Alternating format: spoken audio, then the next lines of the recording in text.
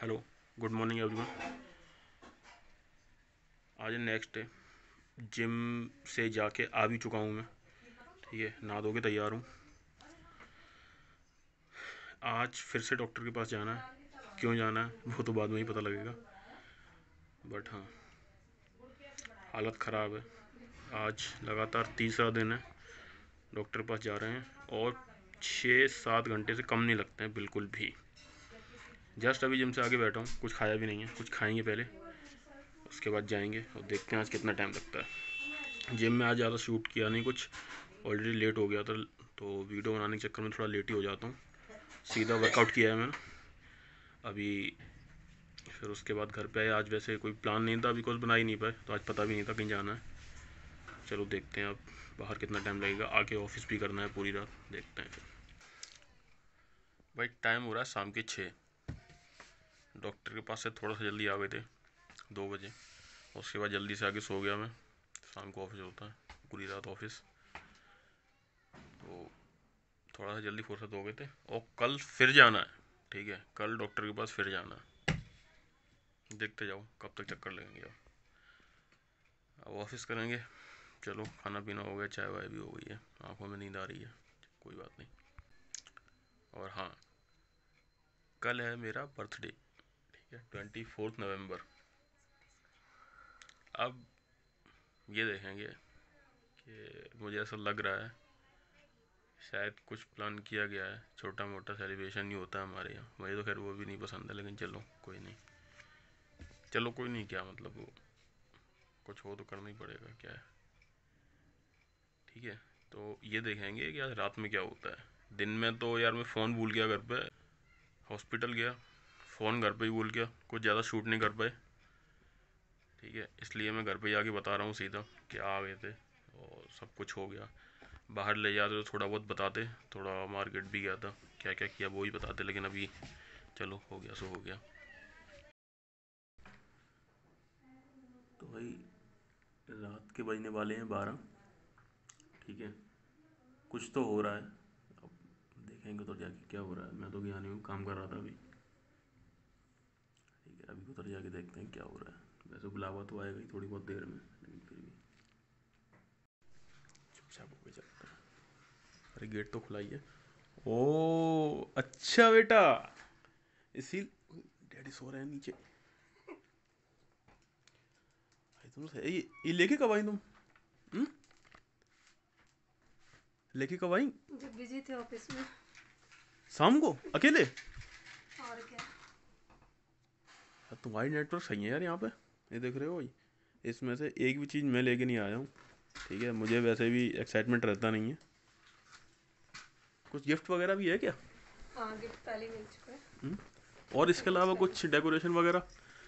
ये एक small celebration है। ठीक है जो कि केवल फैमिली के साथ है और कुछ भी नहीं।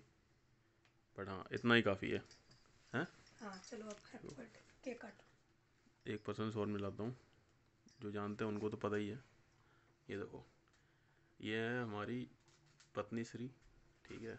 ये हमारी मम्मी जी ठीक है? डैडी जी सो रहे हैं नीचे। उनको उठाने की हिम्मत फिर किसी में नहीं है। फ़िलहाल काटते हैं केक। अरे लाइट जला दूँ क्या?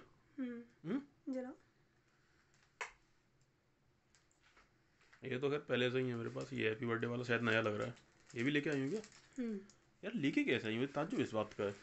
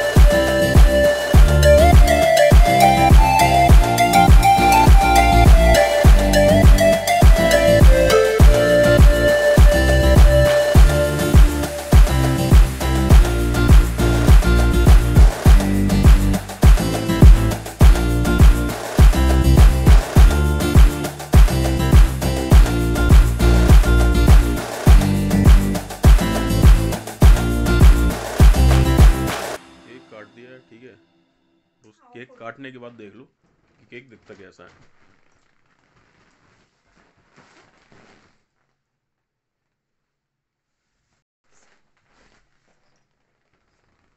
भाई, केक तो भाई टेस्ट में तो अच्छा है।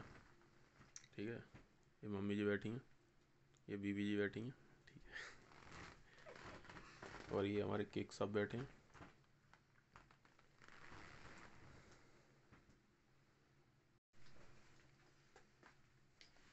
भाई, केक का काम हो चुका है, ठीक है? एक गिफ्ट और मिला है, वो भी दिखा देता हूँ। वो मुझे खैर पहले तो थोड़ा डाउट था, लेकिन हाँ जैकेट मुझे पसंद आई क्योंकि कौन सा ब्रांड है? ठीक है पार्क एवेन्यू है। पता नहीं पार्क एवेन्यू कपड़े कब से बनाने लग गए, लेकिन फिर भी अच्छी है। ज़्यादा भारी वर्कम जैकेट मुझे पसंद नहीं है, ठीक है? हल्की पहन के चल दो कहीं भी, अच्छी लगती है। सही है, पसंद आई मुझे। पहन के दिखाऊँगा, जब भी होगा। ये मेरा फ़र्स्ट सेकंड या पता नहीं कौन सा बर्थडे है जो कि रात में सेलिब्रेट हुआ है। पहले शायद लड़कों के साथ रहता तो शायद करते थे। याद नहीं है मुझे लेकिन हाँ एक दो हुए हैं। इससे पहले छोटे पे वही पूड़ी कचौड़ी वाले होते हैं बर्थडे सबको पता ही है। ठीक है। ये पता नहीं ये स्मॉल सेलिब्रेशन था फैमिली के साथ। ठीक है जो कि एक्सपेक्टेड नहीं था। एक्सपेक्टेशन मुझे कोई खास रहती नहीं है अपने बर्थडे की। ठीक है। और बाकी पूरा दिन में शायद ही कुछ होगा, क्योंकि ऑफ़िस है मेरा, काम ज़्यादा है कल, इसलिए मैंने अभी टाइम निकाल लिया। कल का पता नहीं कुछ हो पाएगा या नहीं हो पाएगा, ठीक है? फिर भी कुछ होगा तो ज़रूर दिखाऊँगा। लास्ट ईयर का मेरा बर्थडे जो था, वो थोड़ा सा अच्छे से सेलिब्रेट हुआ था, और रिलेटिव्स वगैरह भी आए थे तो काफ़ी ठीक ठाक था। इस बार का ज़्यादा बड़ा नहीं हुआ, ज़्यादा बड़ा हो भी नहीं सकता, क्योंकि अभी किसी और चीज़ में थोड़ा सा बिज़ी हैं। वो आपको जल्दी पता लगेगा किस चीज़ में बिज़ी हैं। ठीक है, जो जानते हैं उनको तो पता ही है क्या बताना। भाई, अपने बर्थडे पे खुद ही शॉपिंग करनी पड़ रही है। खुद ही सामान लेके जाना पड़ रहा है कि ये बनाना। कोई नहीं, चलो।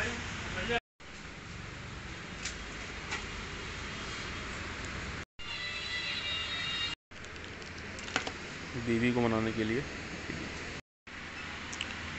भाई, जितनी फैंसी चीज़ें हैं ना मैनपुरी में लगभग सारी मिलने लगी हैं। Seven forty.